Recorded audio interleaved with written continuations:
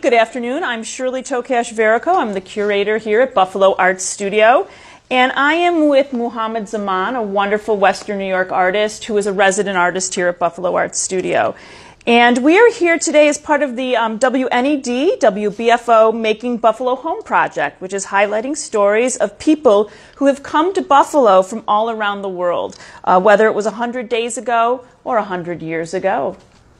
See the nice senior citizens. And we want to thank um, uh, our sponsors. Making Buffalo Home is supported by Rich Products and the Rich Family Foundation, so thank you. So we're going to spend some time talking to you today, Muhammad about your techniques, and um, you're going to paint while we do this. How do you feel about that? Um, I feel okay. Uh, thank you for having me, Shirley, and W, uh, NED and WBFO. And this is exciting. I know I've got, I've had the pleasure of watching you paint. Go ahead and start. Go ahead and just take a deep breath, and we'll do this. Um, and I know, Muhammad, that you have painted live uh, in front of people before because not only are you a studio artist here, Muhammad has also worked um, on large public murals and commissions. So he has painted in front of people before. He also did a live painting here at Trimania, one of our fundraising events. But as we've noted, he hasn't had to talk while painting before. So that's a, that's a new, a new uh, thing for him. So, Muhammad, why don't you start and um, tell us a little bit about uh, what you're doing here, your style? Um, I'm mixing three languages uh, English, Bangla, and um, Arabic, which are my background. And um, my uh, lettering or my art is a uh, urban calligraphy, which, which composed of three languages English, and Bangla, and Arabic. So over here, we're writing uh, Beautiful Buffalo. Mm-hmm. And uh, um, hopefully, throughout the interview, I'll try my best to finish the canvas.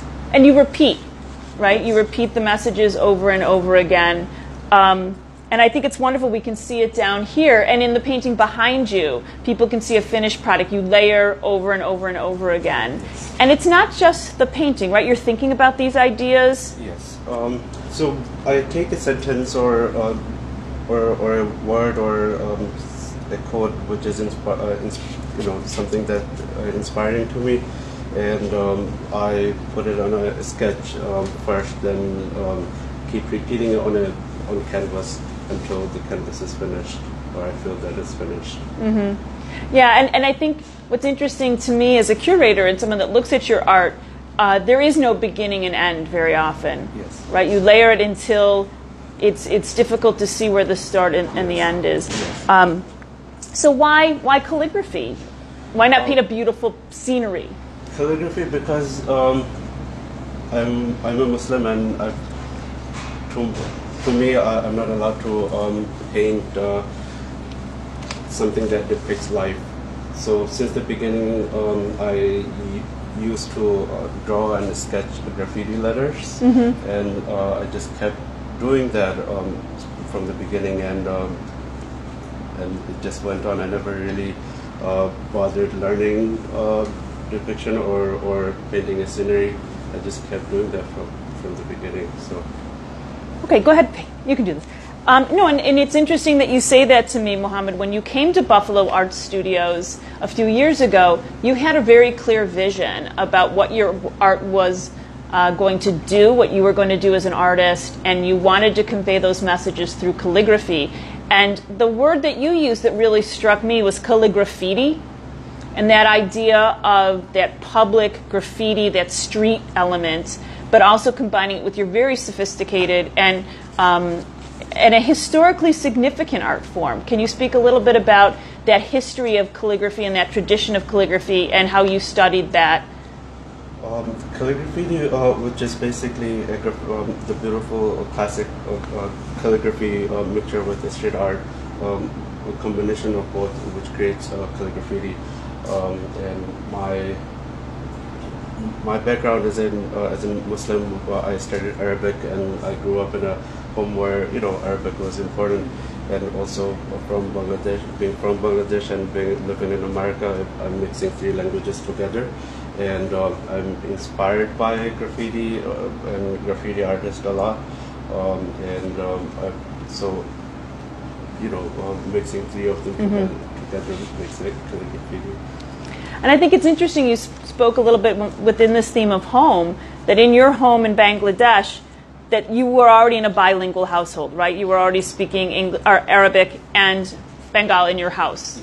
Because the Arabic is, is used in your religious ceremonies, and that's what would have been the language of, of your, uh, your religion, correct? Yes. Right. And so when you came to when you came to Buffalo, when you came to the U.S., how long did it take you to learn English? Had you learned English Um, prior? not really. Um, of course, the, the basics were, were taught in the school, um, but, but as far as speaking English, uh, it took me a few years to get adjusted and, and uh, you know, force myself to go out there and talk to people. And uh, I'm still learning, still learning, and uh, you know, it took me a few years to um, get a good grasp on English. And and then to introduce it in, go ahead and you can pay and to introduce it into your artwork. I think um, you know it's uh, people will learn to speak a language before they learn to write it. I think it's it's really beautiful the way you've incur- you've uh, added it into your your artwork. And I do have to say that when you came to Buffalo Art Studios, it was clear to me that you were using this idea of calligraphy in um, in a unique way, a way I hadn't seen. Um, but I did do some research, and I have discovered that calligraphy, particularly in the Middle East, is, is a pretty common. Um, I don't want to say common, but it, it does occur, and it is very often a public art form and a way to get across a message. And I know in your work, um, the messages often revolve around a theme. But what would you say is a larger theme? I know we have here beautiful buffalo. What is the what are the messages that you're embedding in your artwork as you're writing these phrases? So I try my best to um, create a message or pick a, uh, to, uh, choose a message which uh, which combines, um, you know, or brings together um, the very uh, socially opposed group of people together. Uh, they're somehow, you know, embedded into my background, um, and uh, make artwork which is um, common um, to to the three different opposite background of people together and, and hopefully bring them together into something beautiful. And I think you do that. I, I think that um, as somebody, one of the wonderful things about being a curator, painting, one of the wonderful things about being a curator is I get to see how people react and interact with your artwork. And I know that uh, our audiences, we've worked with very young children. Muhammad and I worked with People's Park, which is located outside of Buffalo Arts, outside of the Tri-Main building, a wonderful public park. And with funding from the Art Service Initiative, their de- decentralization grant, we worked with um, several groups of young people to create a, a public mural. But also, they got to come in and look at your artwork in the gallery, and they really were instantly struck by how uh, beautiful it is. They were able to appreciate it on that level. And then they were drawn into trying to understand. They knew it was letters, and they were able to find some. And I think what was exciting for me was when they had a chance to read the labels and they would see the message, and they really did understand these messages of peace and understanding, um, of looking inward and finding things that unite. Um,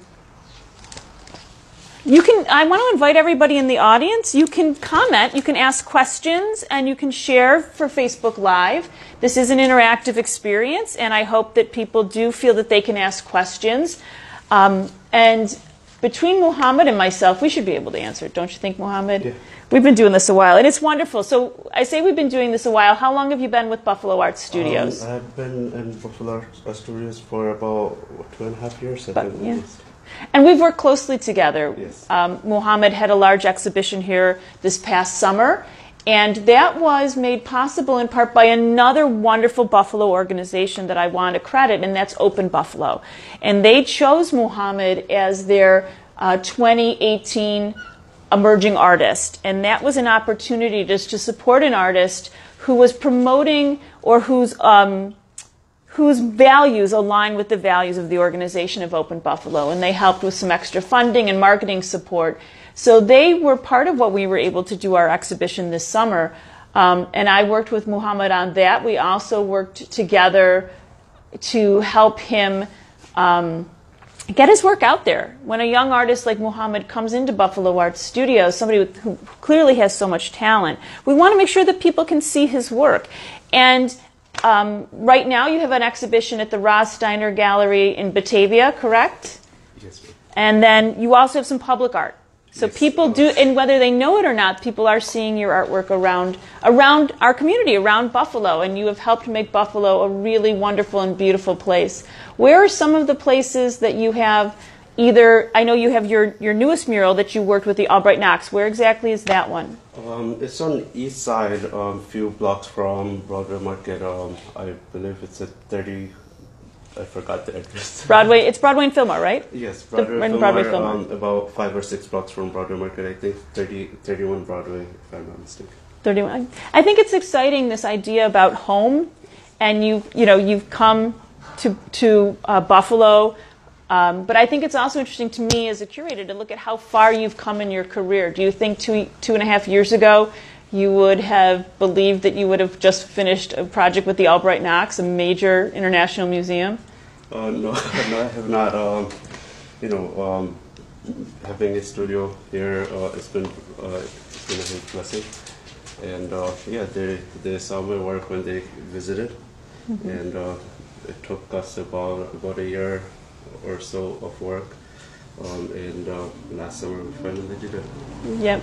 And it takes a long time to plan something like that. I think people maybe don't understand that it's a year of planning before you can you know make that kind of a, an impact also because of our beautiful buffalo weather the mural season is relatively short here it's not maybe as long as it would be in some other places so you know you've come so far you've had some major exhibitions here you've been included in several burchfield penney art shows you are have a, a solo show right now um, you know when you think about when you were younger when exactly you know did you come to buffalo and what are some of those memories you have when you were from when you were a child Um, we moved to Buffalo around 2003. I was uh, 12 years old. Um, new place.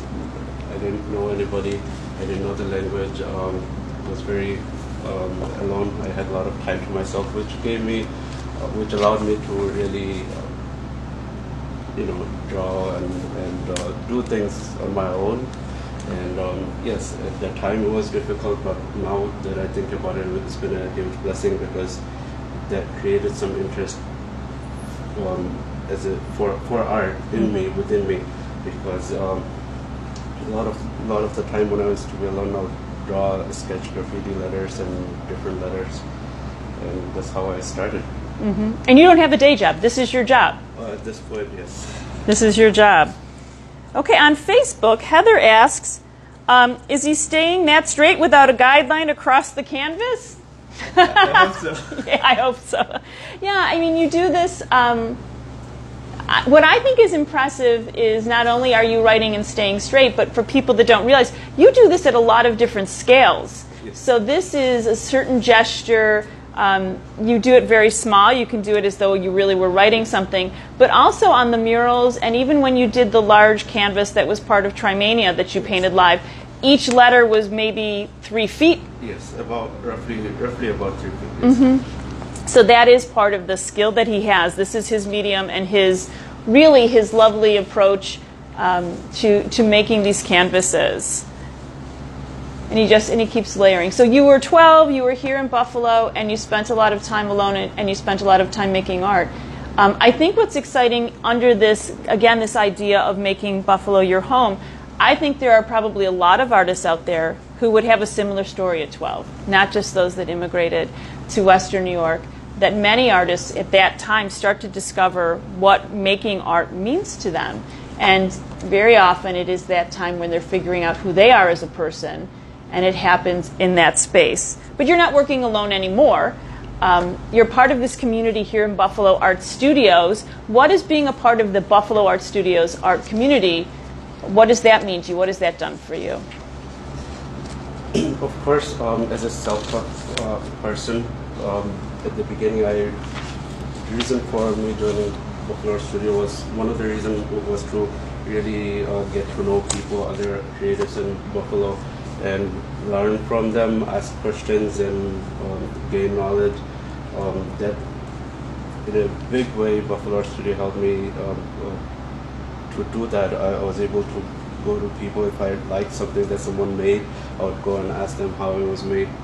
Simple things like you know how to buy canvas, where to buy canvases from, where to buy paint from, uh, stuff like where which type of paste to use. You know, um, it's been a huge help um, from from um, Buffalo Studio community.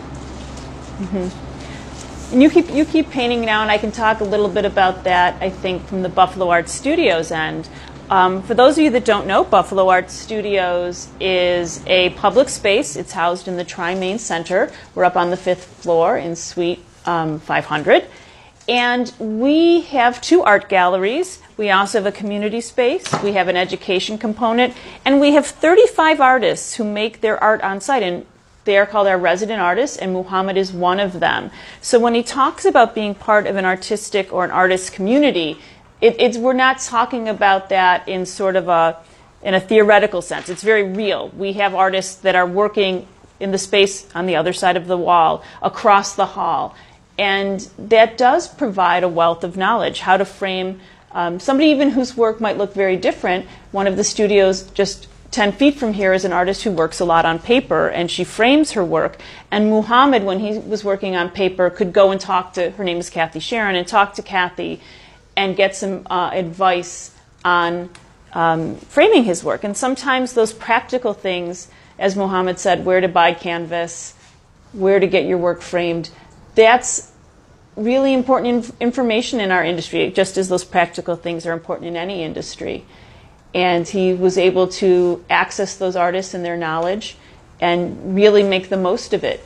Um, I'm glad that people are here on Facebook. Um, we have another question. Are you planning on doing any more murals in in around the city of Buffalo? Do you have anything else in the in the queue there, Muhammad? Not at this time, but hopefully soon. Not at this, but hopefully soon. Yeah, you're really it's it's um, your work translates large. It, it's really quite quite beautiful. And people who are excited, they should follow you on Instagram. Um, how many followers do you have now, Muhammad? It's crazy. How many? Um, well, Instagram is an interesting place. um, about nineteen thousand. About 19,000. So if it's not clear, Well, yeah, Muhammad is shy and very humble. So this is a man you're watching this man paint who has had um, work, you know, through through the Albright Knox. He has actually had his work shown internationally, and he has over 19,000 followers on Instagram. Um, one of the things that was interesting to me as somebody who follows you on Instagram, both as a painter and just as a friend, is you you go to the Albright Knox a lot. Yes. How has having that resource here in Buffalo, this major international museum, how has that influenced your work and your process?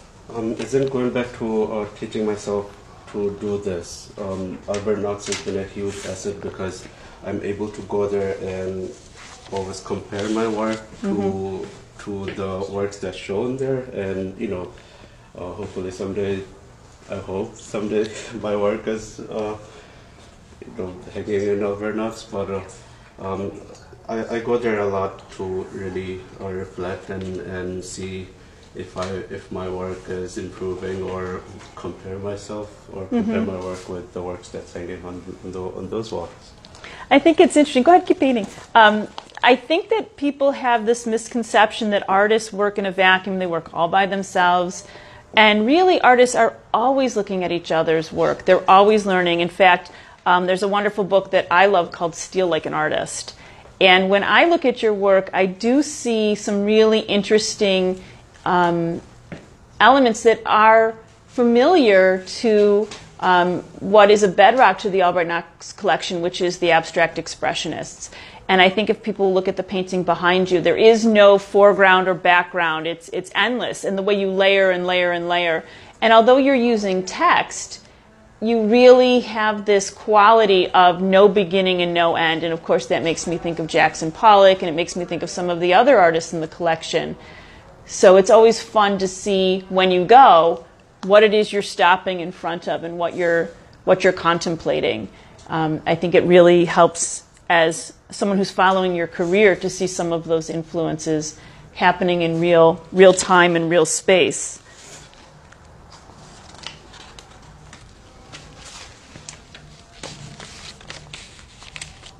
Now you let the paint So I think something people might not realize is you're letting some of the gray tones, the tones between the white and the black, are happening organically, correct? Yes. And um, also, normal cases, I would let the the layers dry overnight, then do a clear coat, then come back and do the next layer. But in this case, we're just, you know, for the purpose of demonstration, we're just layering the canvas. Right, so you're letting it, you're, you're keeping going. So normally you would do sort of one layer Yes. instead of overlapping, so that one stroke doesn't necessarily change the Yes. stroke prior. So it's a, it's a pretty time intense process. That's a question people ask as somebody that's worked in this industry for a long time. How long did it take? How, how long did it take, or ta- uh, how long for um, uh, does it take to finish a canvas? Um, the writing itself is, is fairly quick, but the process of um, you know letting the paint dry, then the clear coat, then do the next layer, roughly each canvas takes about a month to finish. About a month. Yes. And that's something that I think when people look at the prices of artwork, they're sort of struck, they don't recognize. It's the materials, it's the time, and the thought. The thought. I know you're very thoughtful. I know you you spent a lot of time thinking about this and about your, your phrases.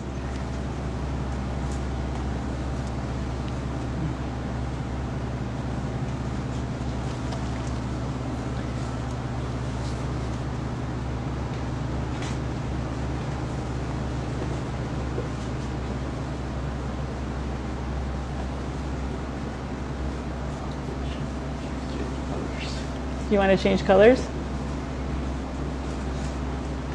Now, how do you keep the paint from getting on your hand? Just being Uh, careful? Yeah, try my best to be careful. Mm, I don't, I don't really mind being, Mm-hmm. you know, painted all over myself.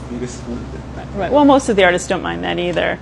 So let's talk a little bit more, and, and hopefully you can you can keep painting about your early days here. So you were about 12, and you said you really were struck. Um, you you felt a little bit isolated while you didn't know the language, and you worked on your art. What else can you tell us about? Did you go to public school? No, I went to Islamic school. You went to Islamic school. Okay. And um, how did you make connections with your with your community? And where did you where did you live? Because I think that's an interesting story Um, too. Your family when your family arrived. We, um, we moved to um, east side because um, because of the mosque, and my dad wanted us to go through um, the Islamic school and the whole um, school system because you know he wanted us to not lose our roots and um, study um, Islam, and which is itself is a beautiful. Um, but uh, you know, I didn't really have any artistic training. But uh, eventually, I just moved out and you know, just what I'm doing right now. Uh, we moved to east side of Buffalo. We lived, uh, lived there since since we moved to Buffalo. And is there is there a community um, that your father knew when he came? In Um, that in that you said the mosque was there? A, did he have a connection to the mosque Yes, community uh, there already? uh, We, we, not from before, after we moved in, uh, after we moved to Buffalo, you know, you go to the mosque five times a day, you automatically make uh, friends and, and, you know, you have some sort of community. But we were the first Bangladeshi family that moved to Mm-hmm. Buffalo. Um, for, for us, which was difficult, but, you know, eventually uh, more people started moving in and, you know, it got easier. So Jamie asks, where are some of your where are some of your upcoming shows, and where can they buy your artwork? I know you have a show right now at the Roz Steiner Gallery in Batavia, and that's a large show. Um, uh, show at uh, Roz uh, uh, Gallery up right now, and also we we're having a group show at uh, uh, Center Right, right. Yeah, there's a, a, a show. with um, Buffalo Studio Mm-hmm. artists. And uh, to buy my artwork, you can buy from studio. A, uh, have a gallery representation from 1120, Mm-hmm. um, and also um, art collective in Rochester. So there's lots of places. So there is so Muhammad. I can talk a little bit about this, and you. oh.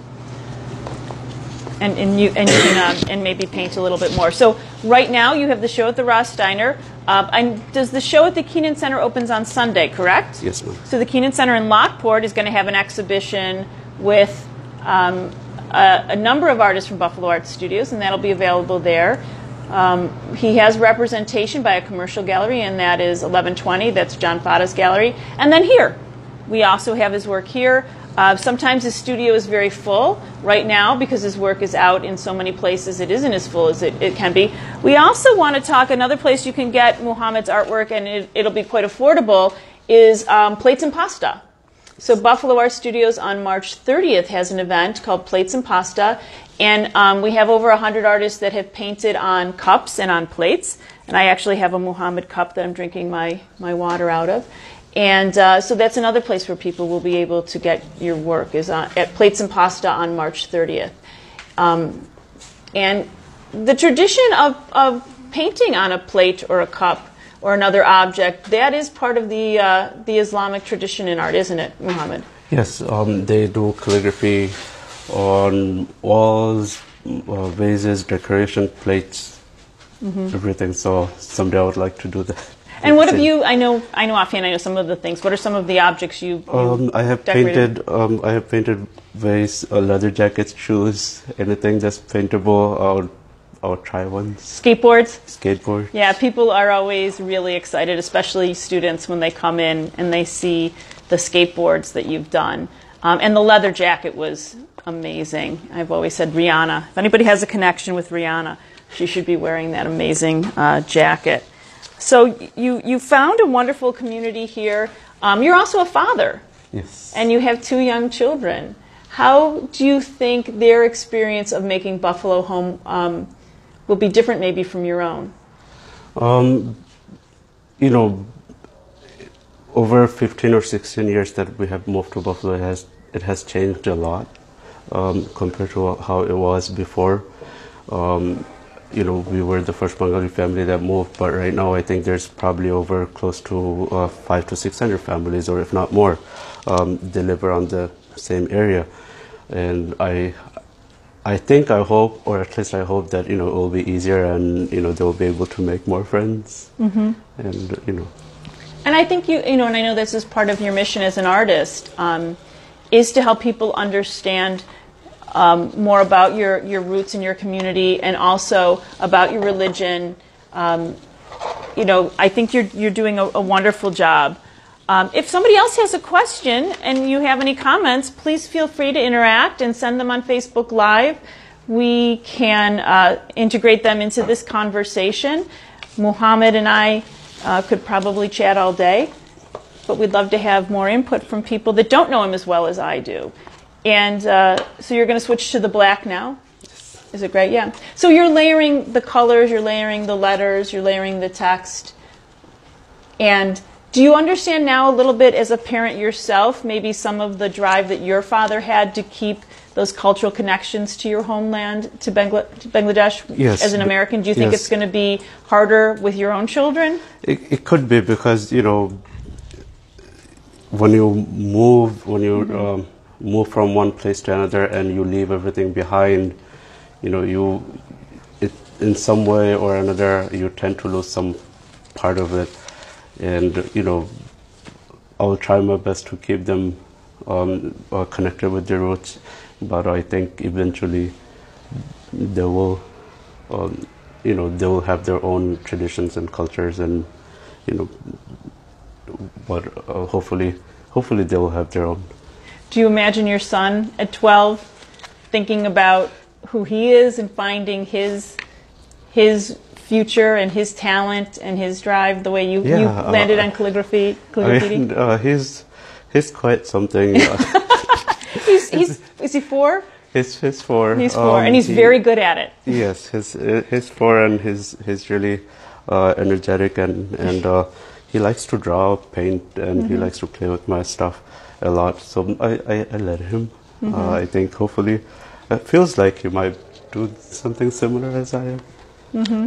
And had you seen um, people? Had you seen artists, uh, Islamic artists, when you were growing up? Had you had you did you have somebody that you could model your career on? Um, not at the early uh, mm-hmm. Uh, stages, but when I was learning calligraphy or when I was learning to um, do art, and uh, I, I, looked up uh, eL Seed a lot. He's a French Tunisian graffiti artist. Um, uh, Zepha, uh, he's also uh, Moroccan and French mixed um, graffiti, um, Middle Eastern graffiti artist. Um, and yeah, you know, I, I, I I look look them up, and I, I still love their work, and I still do look at their work as a you know uh, as to something to inspire, and yeah. What do you think it means to young? I mean, we have a relationship with the international school. They bring their students in. What do you think it means to a young man or woman um, who is uh, maybe an immigrant to this country, and um, you know that they can come and see a rising art star like yourself, and see someone who looks like them, who thinks like them, who believes and shares that faith with them. What do you think that means to that young person? If if someday there there is someone like that, I'm honored. You're honored. Uh, but uh, it, it's, I'm not I know you're very humble. I know you're very. Keep painting. I know that happens more than you think. We have a relationship with Journey's End. We bring people through and tour, and um, you know, I think that we forget so often that for our young people, um, their art education involves looking at uh, a lot of old dead white guys, as I like to say. And I think it's exciting for young people to see artists who share some of their um, traditions and some of their core beliefs, and who, in fact, look like them. And that's something that's wonderful about you being here in the Buffalo Arts Studios and your work being here. Um, I think about those children when we were out in the park, in People's Park, and also when you, you were very generous. You gave them each a gift. Um, they, Muhammad, while he was working with the young people, they were giving us ideas about the park and writing down ideas they had. And Muhammad took all of these ideas and developed a phrase and painted this three panel mural. And while he was doing that, um, for each of these children, he uh, created a little card with their first initial on it. And they got to take that home with them. And think about that when we were handing those cards out and those children were putting them on strings around their necks. How, how did they? How do you think they felt about that, Muhammad? I think Uh, um, uh, they were happy and They were had really good- happy. They had good time. Yeah. I think that's something that your work does for people. I know you talk about this idea of beautiful buffalo um, and these ideas of peace and understanding and, and breeding a better understanding of who you are as a person and what your religion stands for. Um, and I can tell you when I think about those children sitting there with that giant smile and they were just so excited um, about, about your work. Now I'm looking here at these tones that are coming up. Um, do you prefer working? I know the painting that is behind you is also in black and white. Do you prefer black and white, or do you like working in color? My my favorite is black and white, but uh, also I do work in colors. Um, we don't have anything close by, but yeah, we I, I, I do it all. I like the black and white work. I, I think, um, you know, when we talk about the idea of home, I have one of your pieces in my home, and it does uh, help my home feel special. And I think that's like those children that had the card. You know, when you have something that is not only beautiful but meaningful and handmade, it is such a wonderful gift. And I have, I have one of your pieces in my home, and it makes it it makes it wonderful and special. Um, this is really you're getting good at this, Muhammad, at, at painting and talking at the same time. Hmm? Um, I'm impressed. I know that this was this was new for you. I know you're very shy, and just talking about your work is, doesn't always come easy. I think it probably would have been easier for you to just paint and for me to just talk at you the whole time. So you have um, a couple things coming up this winter, and then when you head into the spring, do you have any any any big shows for the spring I don't have anything scheduled yet. yet? yet? Well, that doesn't mean it Uh, I won't mean, happen. last year, last year was a um, was really a busy year for us. Mm-hmm. Um, we had two two solo shows, um, and third one being in January, which is pretty much attached to 2008, Mm-hmm. and um, group shows with Buffalo Studios, and um, there was another with. Uh, um, um, uh, a museum, uh, s- sometimes A museum, around right. uh, beginning of the year, then then the mural Mm-hmm. uh, with Albright Knox and, and, and the mural with People, People's Park. So so I, I think this year might just go a little easy. and make work. I Yes. think sometimes people don't understand that that it can take an artist. You can see him working here, and as he said, it can take a month to do a painting. So um, it might to, you know, it might take a year for an artist like Muhammad to build up a, a, collection large enough for another set of solo shows. And you do work; your work ethic is incredible. Um, I, you know, you, I come in here daily, and I can see the progress that you've made. Um, now, when you, uh, so you were taking classes as a, as a young person and learning about calligraphy. Where did you find the space to translate this traditional art form of calligraphy to more of a street art, to the graffiti part of it. Uh, when did you see that marriage of ideas for yourself and in your work? Well, at the beginning, I was trying to learn the classic Arabic text, and, and, it's an ancient art, so it comes with a whole set of rules and uh, and regulations which you have to follow. Certain letters has to be certain sizes, and you know you can do that, you can do this, um, and to learn those, you have to actually go to a teacher mm-hmm. um, and learn from him, and he, you have to make sure he has learned from another teacher, and you know, chain goes back probably a thousand years. Um, I couldn't find anyone like that in Buffalo. Uh, only person I found was uh, was uh, Dr. Arif Amjad. He's a um, professor at UB, or at least at that time he was a he was a professor at UB, and he he would um, check my work to see uh, if it's correct or, or, or wrong at mm-hmm. the beginning.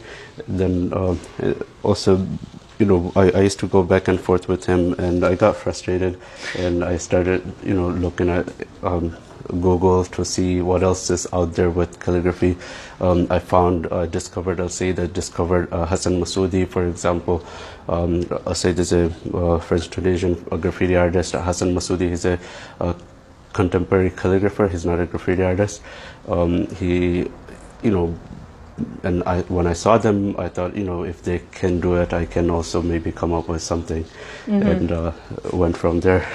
So what? Um, why don't you you can go ahead and paint? So when, what I'm going to do, Muhammad, is we're going to put this video um, on our Facebook page for Buffalo Art Studios. It'll also be available on WNED. But I can also link some of those names that you're saying. I know you're saying them quickly, and I think that can help other people see and understand what you were looking at.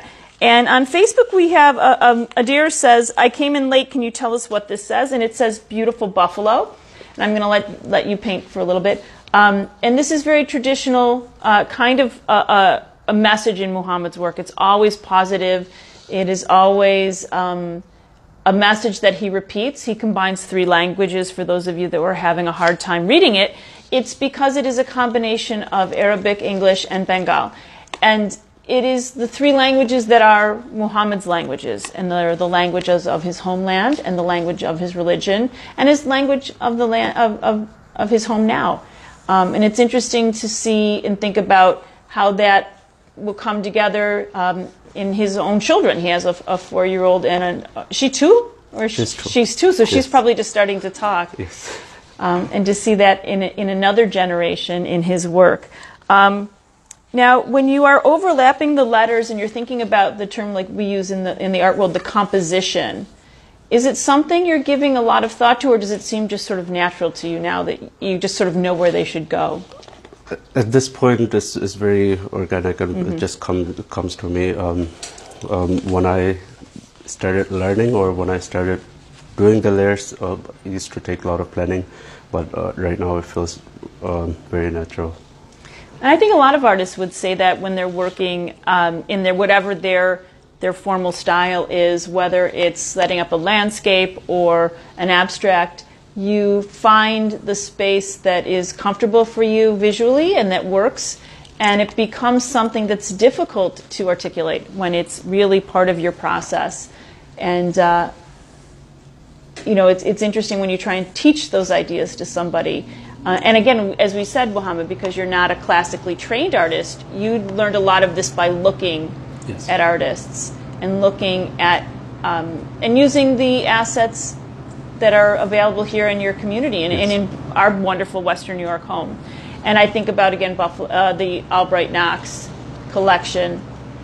Who else, when you go to the Albright, is there somebody you have to go stand in front of their painting? You something you have um, to see every time? I, I don't have anything particular. Uh, probably um, the orange Rothko. The I orange usually Rothko? just just stand there for a little bit before before I actually explore the museum. kind of gives me some sense of calmness and you know gets gets rid of a lot of anxieties. and I think that's interesting. Um, there is, you know, Rothko. Uh, there was certainly a meditative quality to his work, and that was part of how he painted and why. And, and I often use that word uh, when I talk about your work. That um, another word we use in the art world is it's performative, meaning that you're not just writing, you're really thinking about these ideas. The act of making the art is part of the meaning, that you're thinking about these ideas, in this case, beautiful buffalo, um, this beautiful homeland, or you're thinking about ideas of peace, about understanding one another. And sometimes the messages are very personal to you. I think about um, some of the paintings where you were reminding yourself to slow down. And I think that that was interesting that that came um, when you were really making a lot of artwork for all those shows we just talked about, that reminding yourself to slow down and think. Um, you know, now a, li- a, few minutes ago there were some horns beeping in the back because, of course, we're in Buffalo.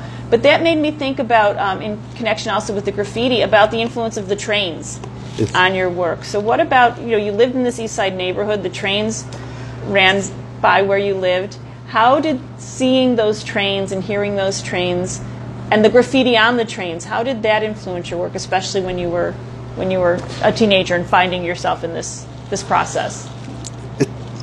so trains were when when we moved to Buffalo. My dad started um, a business of fixing houses and you know um, renting out to, renting them out.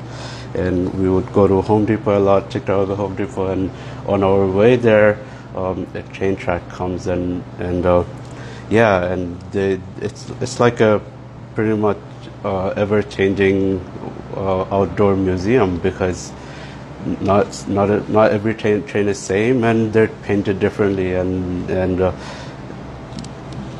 when I when I when I saw that the first time or when I saw saw those trains a few times and you know I, I was I was I used to write letters and and stuff and I figured this that's something that eventually I would like to do and and I didn't know if it was going to turn into a career or something that I I do to live off but um, at that point it was just something nice and something that you know inspired me and I, I used to do them the idea of going from tagging trains to, yes. to, to, these large canvases and murals. Yes. Um, but I think that that's an important idea too, that you saw artwork in public, out in the world, and it impacted you. Um, you know, your murals, I think, uh, you have a real commitment to public art you know, there, we can talk about street art, and one of the things that I often said when I taught was that street art is a little bit subversive. we don't always have the, they don't always have permission. Um, Jamie. Uh, Jamie asks, are you also working with the geometric patterns as seen on the wall above you? So you have some of these more abstract pieces. I think that that's so, what they're asking about. So is it, um, uh, as I teach myself, which is a continuous journey that I would probably have to do for the rest of my life.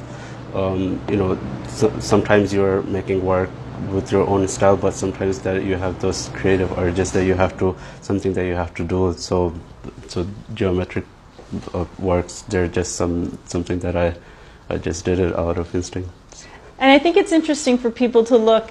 Um, one of the things that's great about visiting Buffalo Art Studios is you see some of the experiments. I think when we go to a major museum or a, a, solo exhibition, you see the masterpieces, you see the things that worked out that the artist has uh, selected. But when you come to an artist studio, you get to see the things that are in process and sometimes the failures, sometimes the things that didn't work out at all.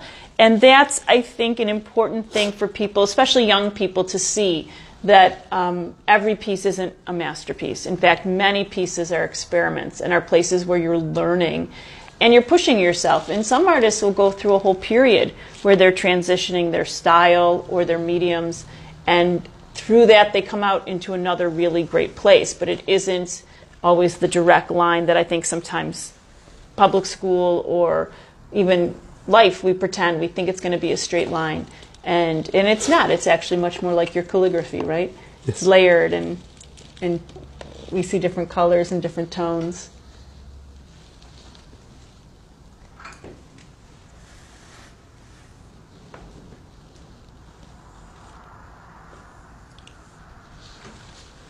Now, when you title this, will you title it "Beautiful Buffalo"? I know oftentimes the titles of your work are the the phrase or the meaning. Yeah. When it's finished. What's the title of the piece right behind you? Um, hate is pointless, and uh, again, uh, the letters are going from different directions and going on top of each other. The idea of uh, being able to read read the canvas it kind of disappears, and uh, what you are left with are uh, some representation of those three languages or three uh, different letters from those three different languages, and uh, you know, which uh, allows you to interact with the piece and try to figure out the message by yourself without reading the card.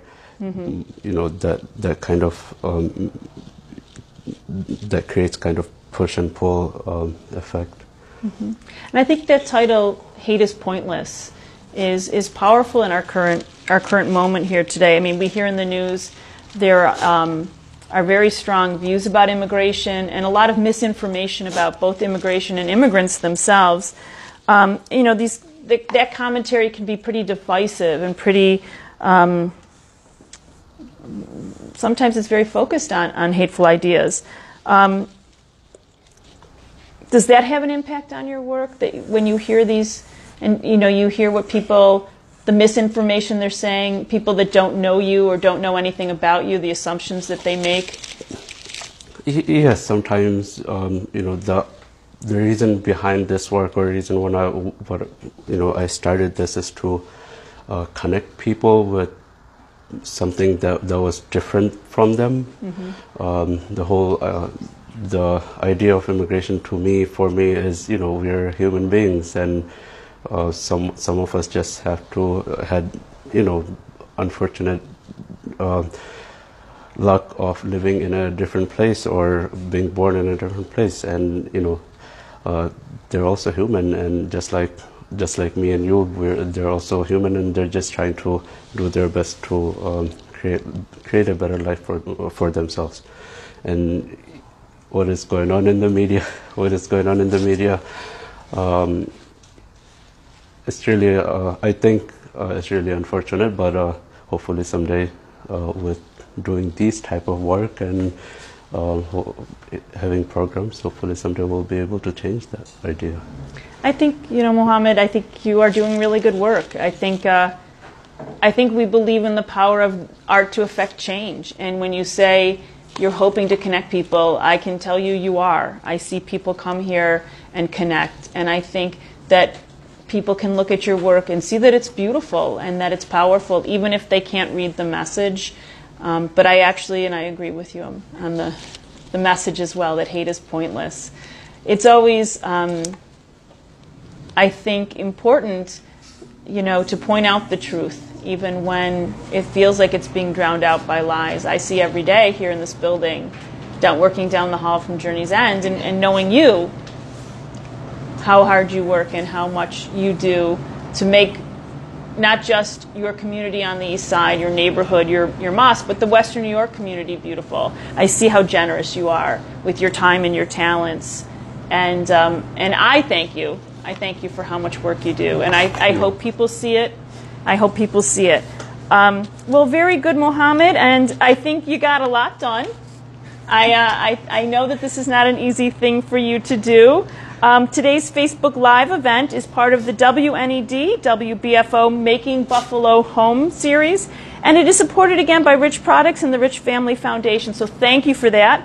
The video of this conversation will be available on the WNED website at wned.org backslash Making Buffalo Home.